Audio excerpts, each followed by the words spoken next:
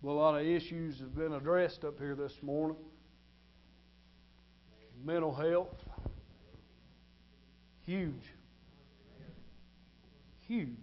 The Bible said, Let this mind be in you.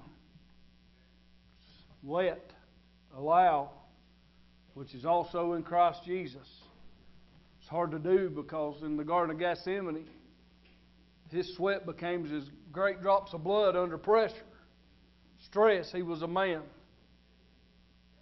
Identity. Anybody hear the word identity? Young people today, listen to me. You've got to have an identity. You've got to know who you are, and you've got to know who you are in Jesus Christ. Because if you don't know who you are in Him and through Him, I don't know where I'm going to preach. I got some a message here, but I'm going to mind the Lord because preaching's really been done. If you don't know who you are in Jesus Christ this morning, you don't know who you are.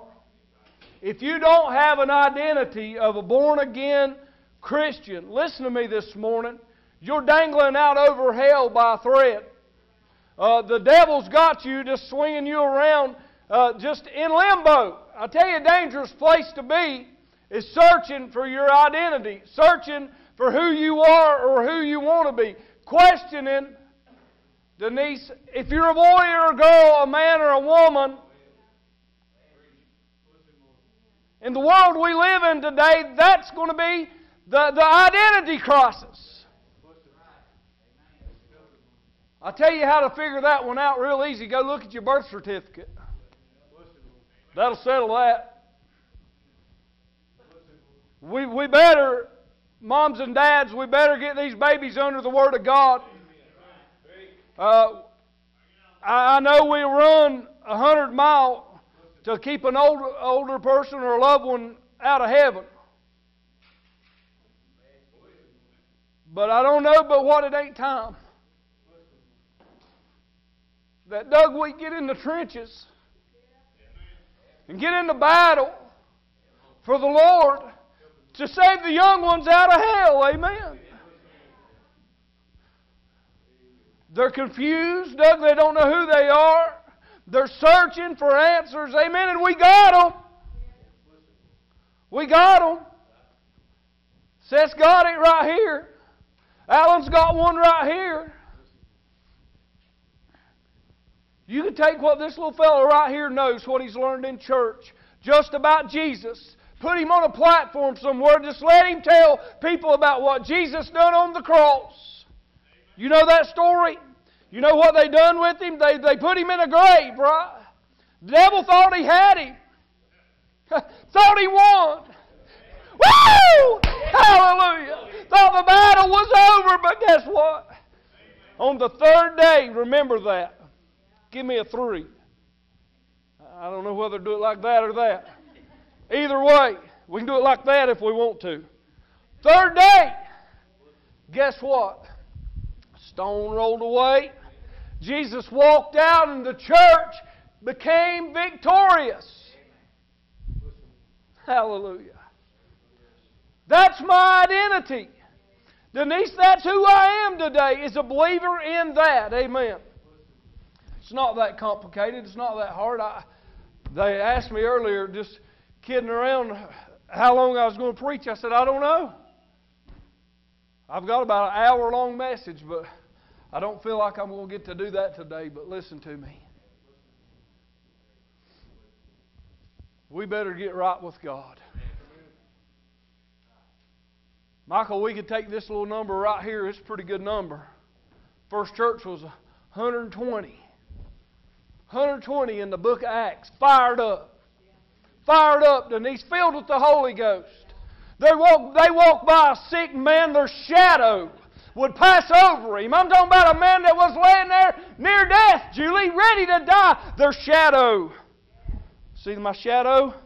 When that shadow of the Holy Ghost went over them, all of a sudden they were healed. What is that? That's the Holy Ghost. That's the power of God. Is that real still today? Praise God.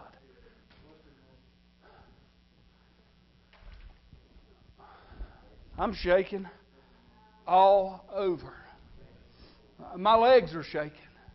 They're not weak. I've been in the basement running and singing as loud as I can sing, getting in preaching shape.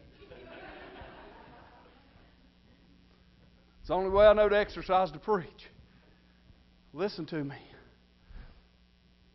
There's a lot on the line. Right now, today, John 2021. February is always a hard month. My family, death has hit my family in February. February is a hard month to get through.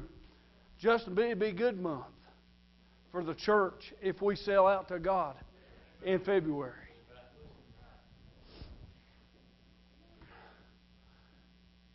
How many of you how many of you would like to sell out to God? It would be honest, raise your hand and say, I'd like to sell. Boy, that's a big, that's a big commitment. If you're going to raise it, raise it high. Half mast means somebody died and get it up there. That ain't going to be easy. Seth, we're going to have to get in the trenches and we're going to have to stand for some things that it's going to be tough. It's going to be tough to address. Real problems.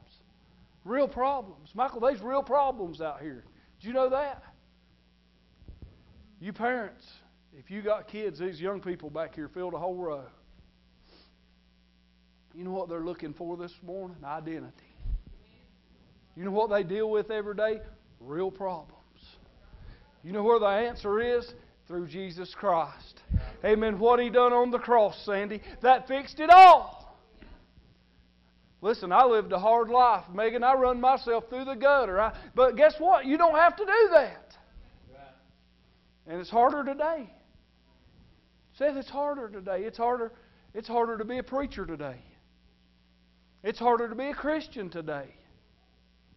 You know what, Denise? We may come in here one morning and the sheriff deputies be sitting out there. I don't, I don't think they're going to come try to. Matt, They're not going to come try to take our guns. They don't want our guns. What do they want our guns for? I ain't worried about that, Shannon. They probably won't come take our Bibles. They probably won't do that because we can hide the Word in our heart. If nothing else, how many of you know John 3.16? We'll come in here and just quote that over and over and have a big old time. But I'll tell you what they're going to do. They're going to turn the real preaching and the real stance for God into hate. When we stand for our young people, that's on my heart this morning, about to kill me. When we stand for our young people and we get up and we tell the truth and we shout the warnings from the book of God, amen, from Romans chapter number one, when we shout that from the pulpit as loud as we can shout it and we stand on that with a firm foundation, somebody's going to come and say that's a hate crime. Hate crime or not.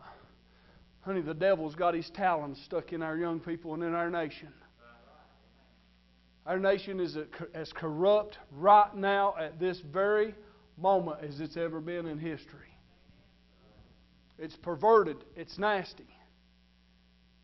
It's wide open for whatever you want. Danny, there's one option for the church, and that's stand.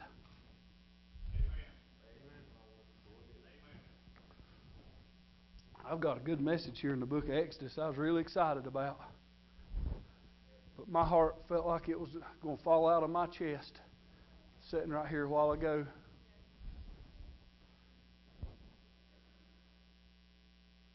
How many of you know somebody this morning that's struggling with identity?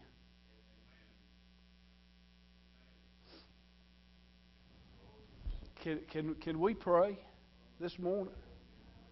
Can, can the church come? And let's put, let's put the routine, let's put the singers sing for 15 minutes and the preacher sings for 30. Let's put the, Cinda, let's just cast that out the door. You know somebody that's dealing with mental issues this morning? That, that's struggling with depression and oppression? Do you know somebody that's doing that? Why don't we pray this morning?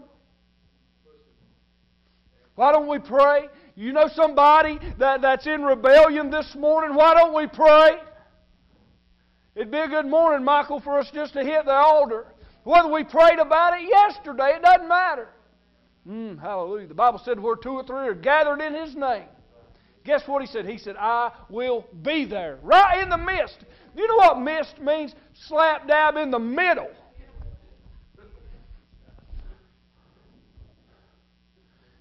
I think it'd be a good morning to pray. Probably Danny, probably good just to come in here before every service, in the middle of the service, whatever. Let's just bust that altar wide open. You want to see lives change? You want to see uh, our homes change? I mean, we, we can't start with the world till we start with our homes. Joe, you can't start with your house till you start with Joe. Let's start right there this morning. Y'all don't have to come with a song. You can, you can pray where you at, come to the altar, whatever you want to do. But everybody stand to their feet this morning. Here's what we're going to do. We're going to open this altar. We're going to open the, the pews, whatever you need to do. But you pray. If y'all, y'all want to sing, whatever you want to do, y'all to pray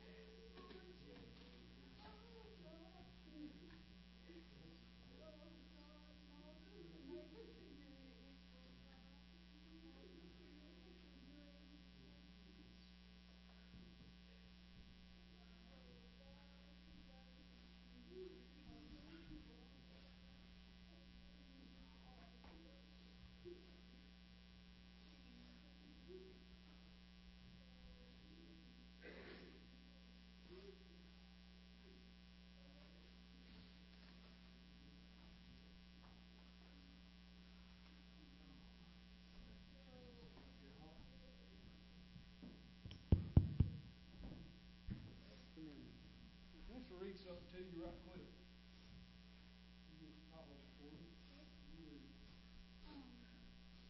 It's uh, chapter 3, John, um, verse 16. For God so loved the world that he gave his only begotten Son, that whosoever believeth in him should not perish but have everlasting life.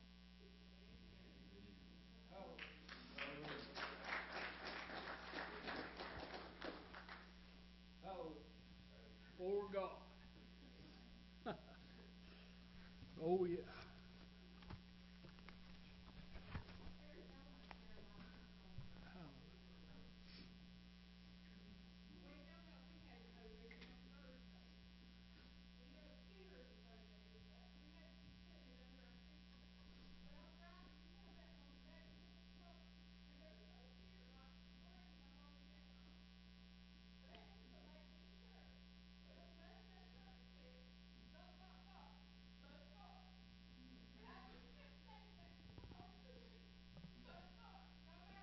Oh, yeah.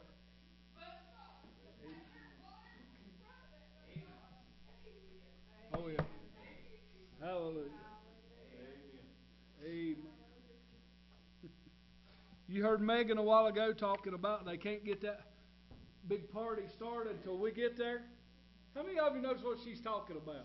Anybody? My favorite time of day is supper time. Me and Kelly can talk at 8 o'clock in the morning, and sometimes I'll say, What's for supper? well, one of these days, when that trumpet sounds, we're going home. There's going to be a supper called the marriage supper. Right here's the best part of the lamb. Now, the lamb's not the dish, he's the host.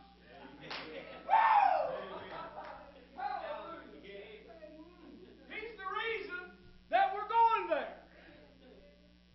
Hallelujah. I hope everybody here, out of this number, because of John 3.16, just hang on to that, you'll be all right. That's how you'll get there.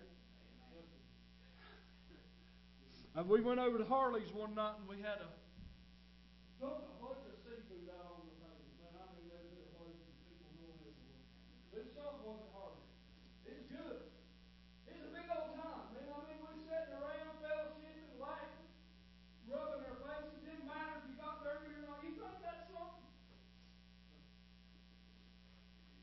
You wait till we get up there. We've had some pretty good meals at your house, ain't we? Nothing. Just wait till we get up there. Hallelujah. Hey, the altar's still open. Y'all gonna sing or something? They look ready. Eric, you you you mentioned that the youth were on your mind today, um, and that I mentioned once before when we sung this song that this was a prayer that we prayed over our youth at the previous church that we were at, and I don't know why, but this morning, I mean, I, I got to spend a little time with Daniel yesterday, and he was talking about a kid in his class um, who was confused, like you were talking about. It's easy to get confused as a kid because you've got it coming from so many different directions. And, um, you know, for us, we were really rooted and grounded because we were homeschooled. Mom and Dad taught us with a Christian education. So we were based on Bible.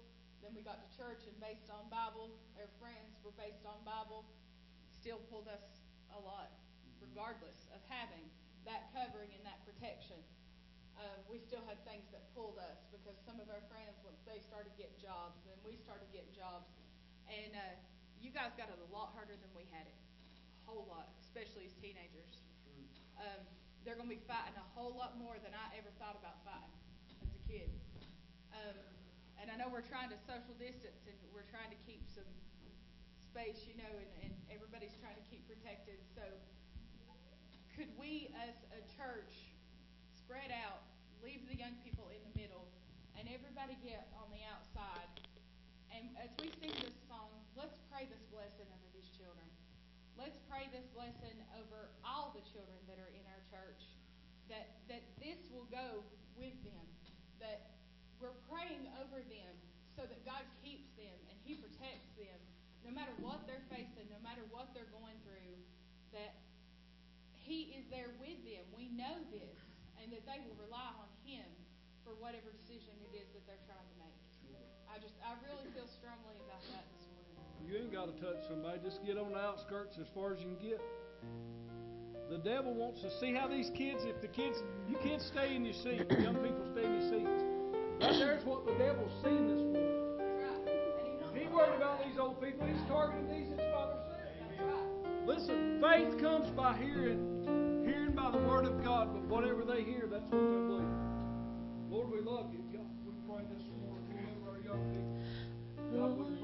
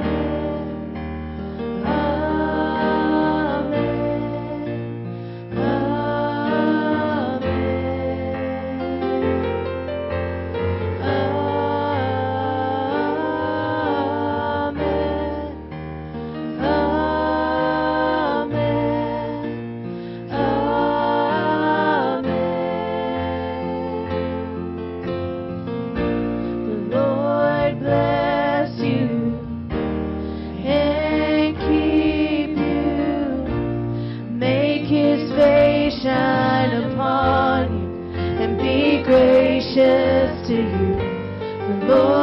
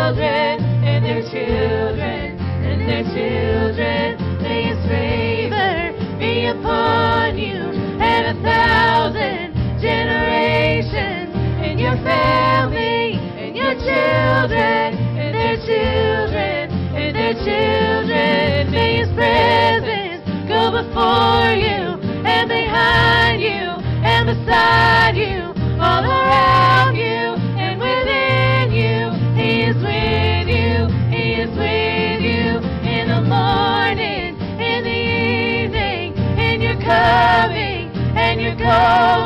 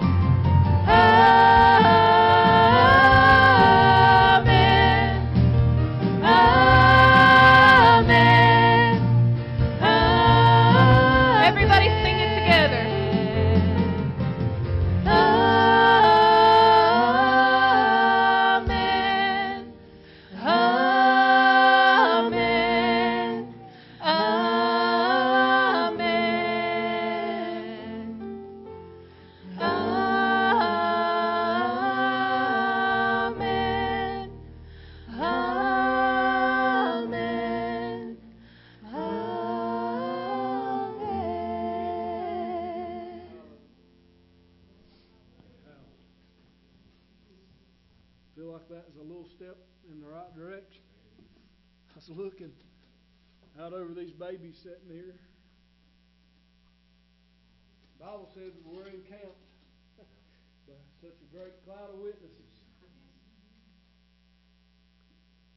Sometimes when you go and you sit down in somewhere by yourself, Alan, you feel like you're beat down, you're trying to pray. We could just see through spiritual eyes,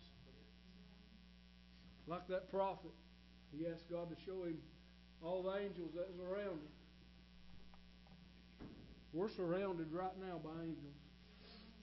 Some of you might think, preacher, you're crazy. That's Bible. I never forget. I, we're going home right now in a minute. How many of you would believe Kelly if she told you something? Raise your hand if you think she's pretty honest. I can say, as far as I know, she's never really lied to me. That's a pretty big statement. A lot of most of you men can't say that about your wife.